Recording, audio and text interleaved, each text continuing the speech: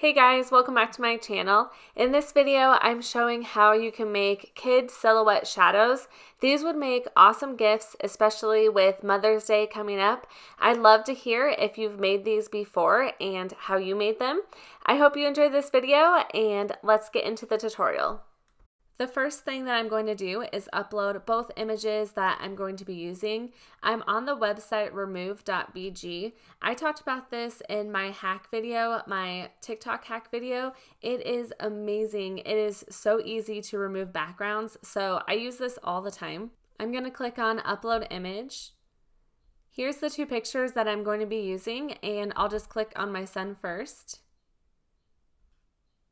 and it automatically does it. So it did it super fast where you almost didn't even get a chance to see it. But you can see these little boxes but that means that the background is gone. And you can tell my son was not very happy about having to take that picture. He is not a picture person.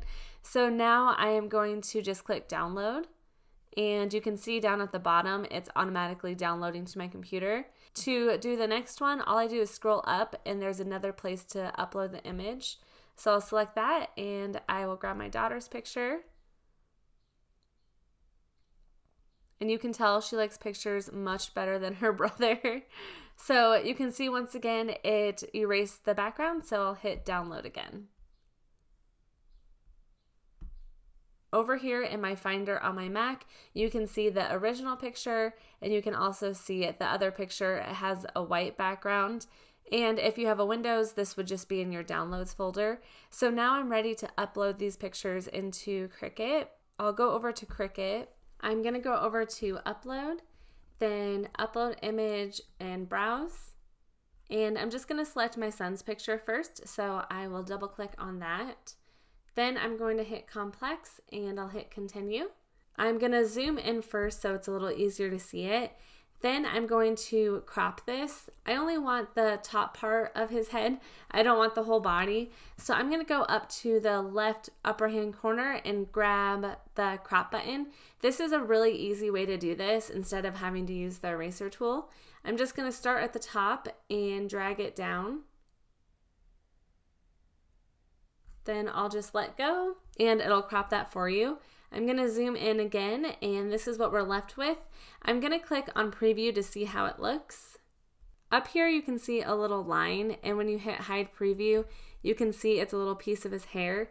I think that looks okay. I don't want to erase it because I think it will look kind of funny right there. So I am just going to leave that and hit continue. Since this is our silhouette or shadow, I'm going to choose the cut image. I'll select that and hit upload. Now I'm going to go to upload image again and grab a picture of my daughter. I'll double click on hers and hit complex, then click on continue. So I'm going to zoom in again and hit crop. And I'll bring this down to about there. Then I'll zoom in again. She has a lot of wisps of hair. She has very fine hair. So we'll see how this looks. I'm going to hit preview and you can see it's a little bit more messy than the other one. So I'm to try to clean this up a little bit. And the hair down here, I think I'm going to erase that because I just feel like it looks a little funny. So what I'm to do is grab my eraser tool. Then I'm to come down here and actually erase it. I just think it'll look a little cleaner. And I'm just dragging over it and now let me hit preview. I think that looks better. I'm to zoom in a little bit and hit preview again. There's a little spot coming off of that. I am going to make my eraser smaller and I am just to try to, whoops. And I'm just to try to round this out. Then I'll hit preview again and that looks a lot better. The preview button is really helpful. Up here too, I'm gonna try to clean this up a little bit also. So I'm gonna get my eraser and I'm just gonna kind of bring over this. Then I'll hit preview again and I'm gonna try to get it a little bit more.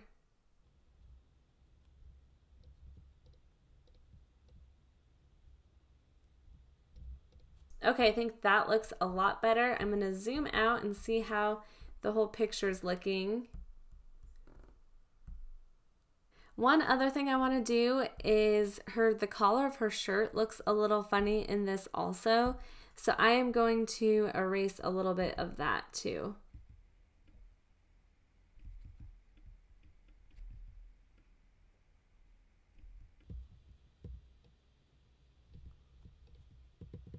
Okay, now let me see how that's looking. I'm just getting kind of picky, but I'm going to um, round out this side too a little bit. It's just her shirt looks just a little funny there.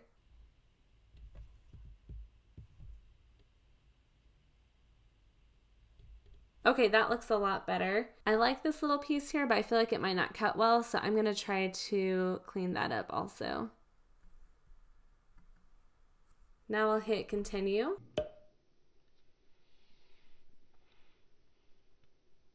Now I have both of them here. I'm just gonna select on each one and insert image. Here's how they look once you insert them into Cricut Design Space, and I think it is seriously so cool. Now I'm going to figure out sizing. I'm going to grab a shape and grab a square. The inside of the frame is 8 by 10, so I'm going to come up here and change it to that.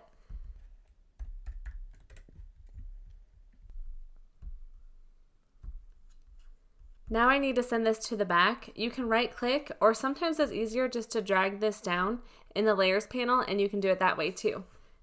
So I'm gonna grab my daughter's one first and just figure out what size I wanna make it.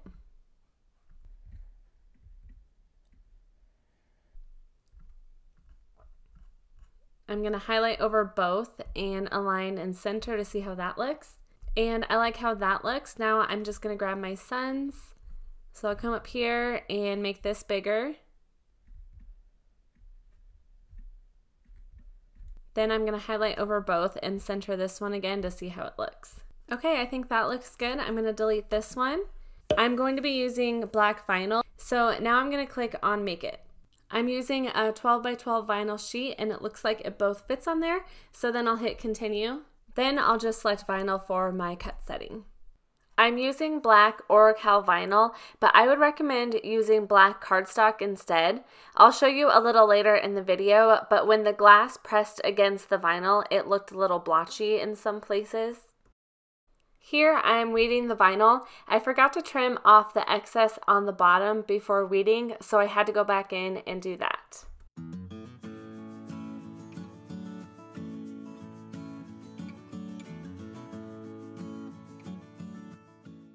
I'm using 50 pound cardstock. The size is 8.5 by 11, so I needed to cut it down to 8 by 10, which is the size of the frame that I'm using. I love using this paper cutter. It has a piece that you pull out, which makes it so easy to measure and cut the paper. I line one side of the paper up against the 10 inch mark, then I will cut it there. Then I turn the paper around and line it up at the 8 inch mark. It makes it easy to cut it nice and straight this way also. I zoomed in a little on the ruler for the second piece of cardstock so it might help to see it a little bit better.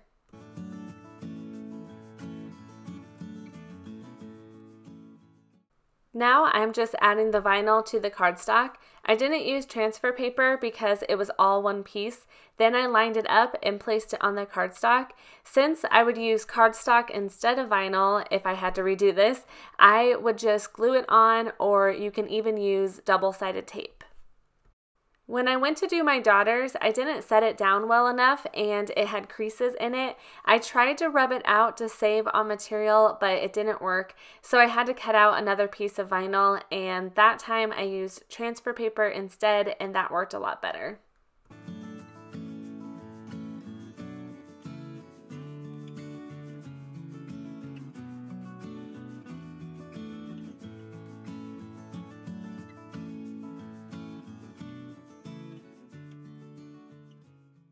Here's the frames I'm using. They are 8x10 and I bought them from Target for $5 each. You can also use Dollar Tree frames as well.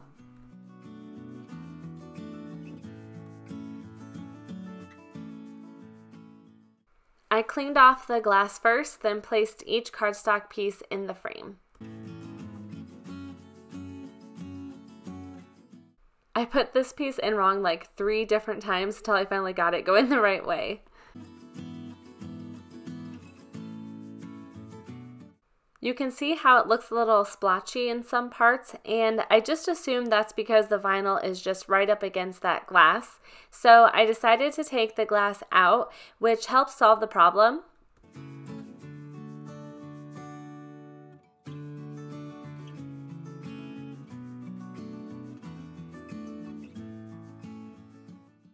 Here's how they both look without the glass in. It was super fun and a quick project to make. Once again, these would make amazing gifts. If you enjoyed this video, give it a thumbs up. I would love it if you subscribe to my channel if you are new. It's completely free to subscribe and I hope you have a great day.